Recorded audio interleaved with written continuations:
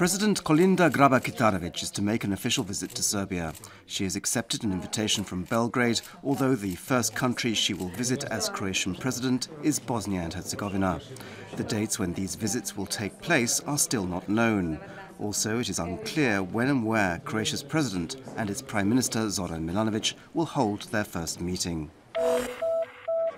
In an interview for the Sarajevo-based news channel Al Jazeera, Zagreb's police chief Davor Postilovic has said that his officers have already been trying for months to establish who are the organisers of the protest that has been going on for over four months now outside the Veterans Affairs Ministry in central Zagreb.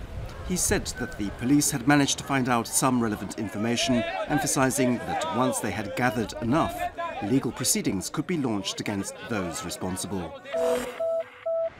The deadline for submitting requests for a small coastal fishing license was supposed to expire on Friday. However, due to great interest, that deadline has now been extended until the 6th of March.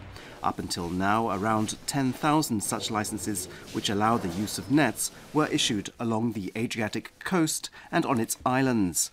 However, with Croatia's EU accession, that number must be reduced to 3,500. Recreational fishing licenses, meaning with rod or line, can be sought until the 31st of March.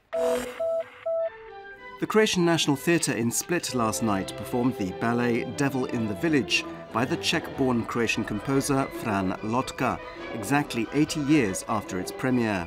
This is one of the most performed ballets in Croatia and connects Croatian folklore traditions with classical ballet. The plot is a love story which takes place both in a Croatian village and in hell. The 11th edition of the ZagrebDox International Documentary Festival gets underway this evening with the film Two Raging Grannies by Norwegian director Håvard Bustnes in Zagreb's Kaptol Cineplex Center. Over the next eight days, more than 150 films will be shown, including 36 Croatian ones, nine of which will receive their premieres. And this evening, the most prestigious film awards ceremony in the world, the Oscars, will be held in Los Angeles. The whole event is being covered by Croatian television, although the ceremony doesn't begin until way after midnight Croatian time. Sport and in tennis, Ivo Karlovic has reached the finals of the ATP tournament in Delray Beach by defeating Adrian Mannarino, France 6-3, 6-4. His opponent in the final will be the American Donald Young, who knocked Ivan Dodig out of the tournament.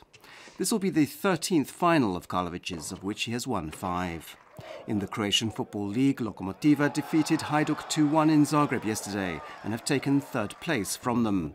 Zagreb defeated Zadar 1-0 away from home. On Friday, Slaven Belupo beat Istra 2-1, while today Osijek play Dinamo and Split face Rijeka. This afternoon's forecast calls for mainly overcast skies and rain, especially in Dalmatia where it could be heavier. In higher regions, especially Gorski Kotar, there could be some snow in places. Winds inland will be light to moderate and northeasterly, while in Slavonia there'll be a southeasterly. There will be a strong to gale force southeasterly wind on the coast, which will turn to a northeasterly Bura wind on the northern and later on the central coast. Highest daily temperatures will be between 3 and 9 degrees Celsius in the east of the country and between 9 and 14 degrees on the coast. Tomorrow the rain should stop and there could be a little sunshine, although next week a new front of cloudy and wet weather is expected, with snow in higher regions. On the coast, tomorrow it'll be changeable with occasional rain and rain showers. On Monday, it'll again be cloudy and wet. A northeasterly Bura wind on the northern coast will gradually weaken and then again gain strength. On the southern coast, there'll be a strong southeasterly Jugo wind.